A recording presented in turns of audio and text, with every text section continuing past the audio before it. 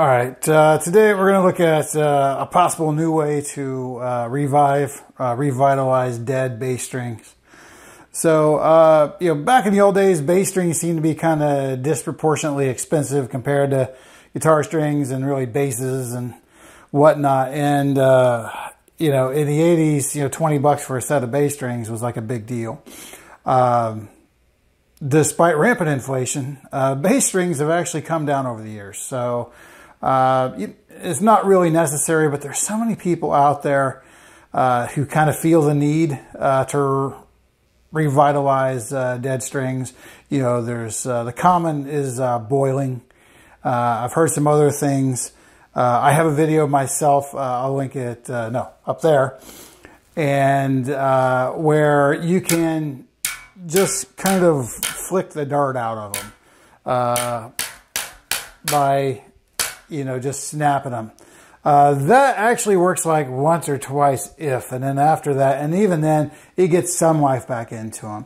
So uh, today we're going to be looking into the possibility of uh, some alternative, an, an alternative way uh, to clean them up. So first, let me demonstrate. Uh, this is a uh, Steinberger, S, Steinberger. I just bought a Steinberger license bass. this is an Ibanez Soundgear SR300M, M for maple. And these strings are, uh, they could be deader, but they're pretty darn dead. So.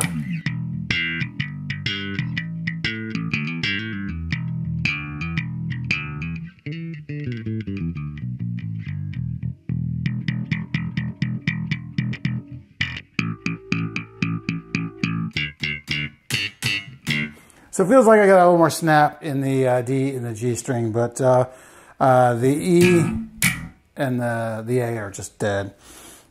So uh, I thought, well, hmm, how can we think out of the box? So the first thought I had was this. Yeah, I mean, why not, right? So alcohol, yay. So this uh, two liter of uh, incredibly expensive vodka from my refrigerator, it's 42 proof. So 42 proof is like uh, 21%,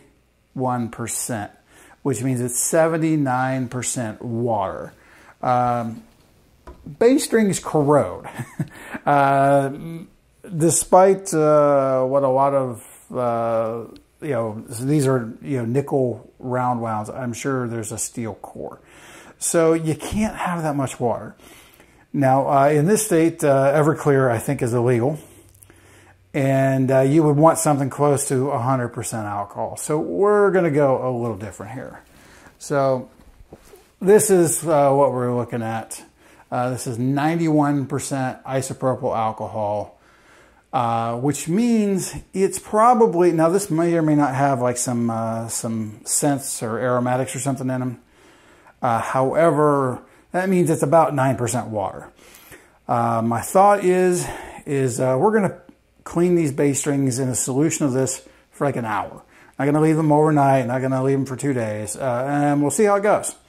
So uh, first part is uh, the boring part. Well, a lot of this will be boring part. So I'll try to uh, skip through things quickly, but uh, we'll just start listening to bass strings.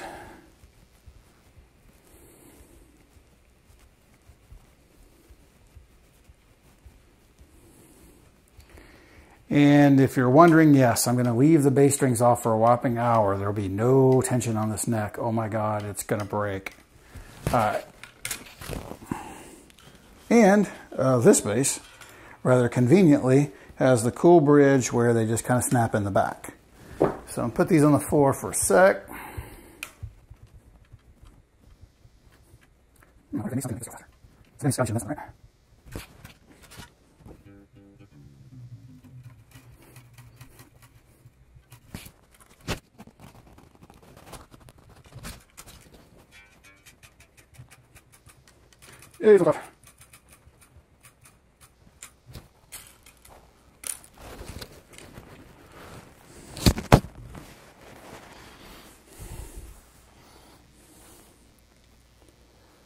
All right, so the strings are now off. Uh, I really, uh, you know, like you could try wiping them clean, maybe. uh, with the alcohol while they're on the bass. The alcohol is a solvent, and if you had something with kind of a hand rubbed, you know, satin finish, that would be bad. Uh, this Ibanez would probably be fine. So the next thing I'm going to do, uh, but I'm not going to take that chance, is I'm just going to wrap these up, you know, kind of like, uh, you, know, everybody does this, and this is how they come. So they need to fit into a container so that we can soak them in the alcohol. So just quickly, one of these together so they'll fit a very expensive container. Uh, might cost a cent, maybe a little.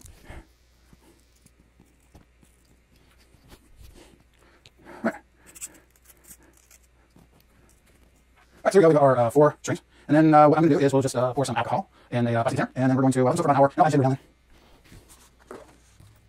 right, so let's come on over here. Got our uh, junk everywhere. So let's come on down a little bit and see what's going on here. All right, I may have to add more out than that. We'll see. I am just going to uh, try to arrange these in such a way to where maybe they'll stay under. And then of course I have one that's trying to escape. Jeez. My string winding. Of course, case. Stress again. All right, see that coming on this one. I'm going to put the E in there on top. Uh, just not quite enough alcohol in here, so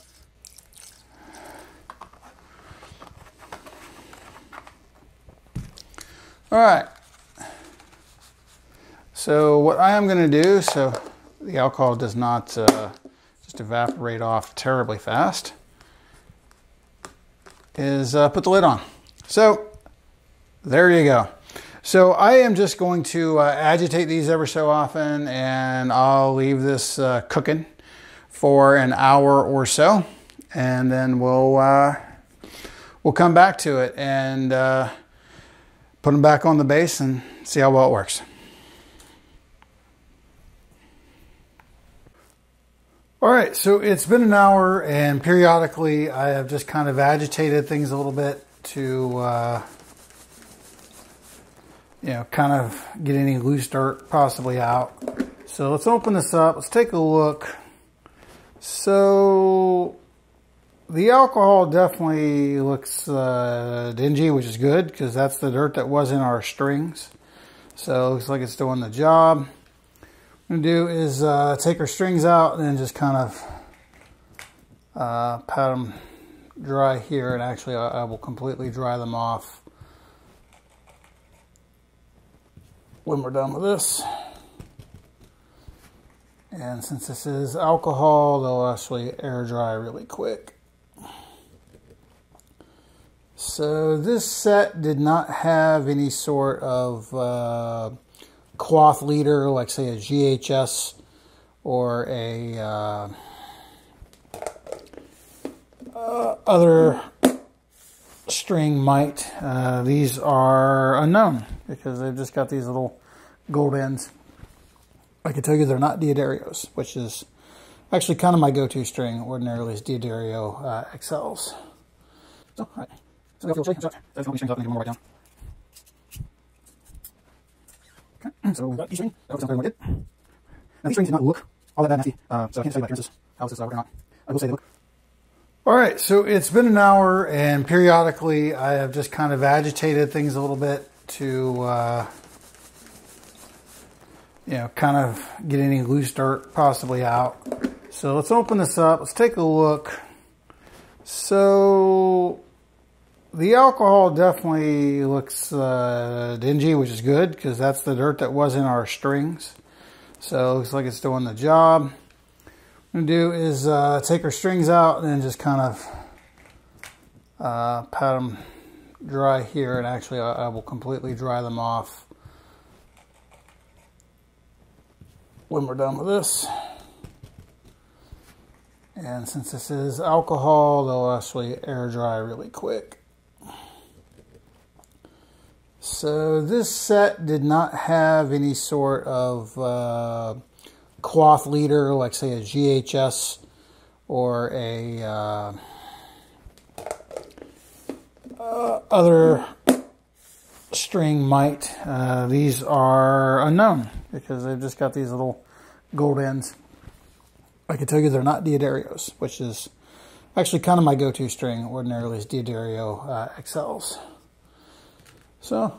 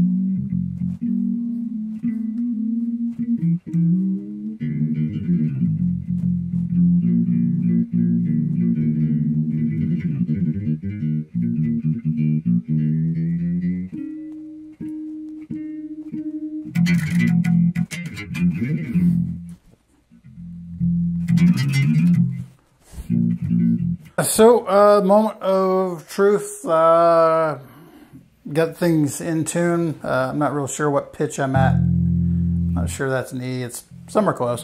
But, you know, uh, did it work? So, uh, trying to get all my treble, everything up. So, uh,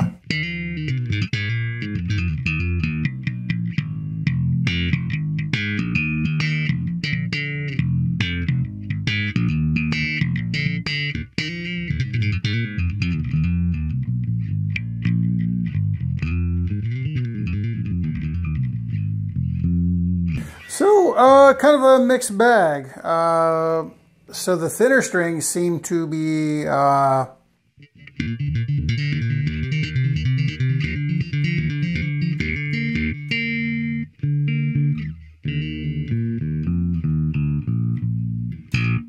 I hear improvement in the uh, A.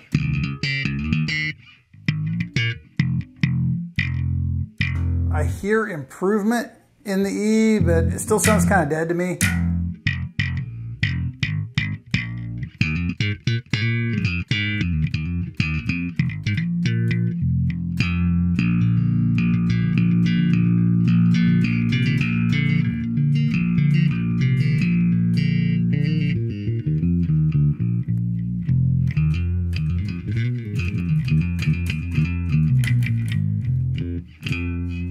I'd really say the, the A sounds pretty good too.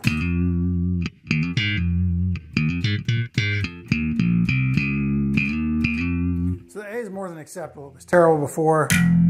The uh, E is uh, just kind of dead. So what I'm going to do is I'll put the E back in the uh, solution here for another hour all by itself. Maybe that was the string that was on top. I think it was uh, maybe it didn't get submerged. So let me fix that and see what happens. So I soaked the uh, E in uh, the alcohol for another hour. Honestly, I don't really think uh, a whole lot happened there, so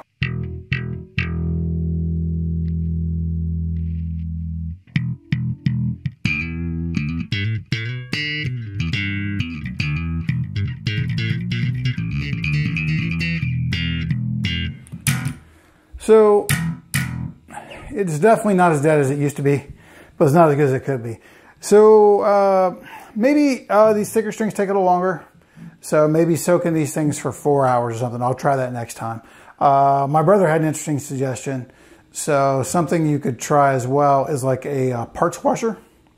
So something designed for like small parts like uh, bolts and nuts, uh, something you might buy at Harbor Freight that will warm the liquid a little bit and it also agitates, vibrates uh, the parts. Uh, that might actually clean them up pretty quick too.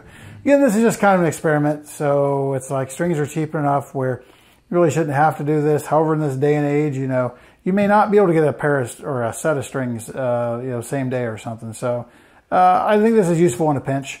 Uh, anyhow, let me know in the comments what you think. And then, uh, you know, please uh, like and subscribe. The channel is uh, very slowly building. You've got 1,230 subscribers, I believe, today. So, you know, do what you can to support the channel if you like all things bass. All right, until next time.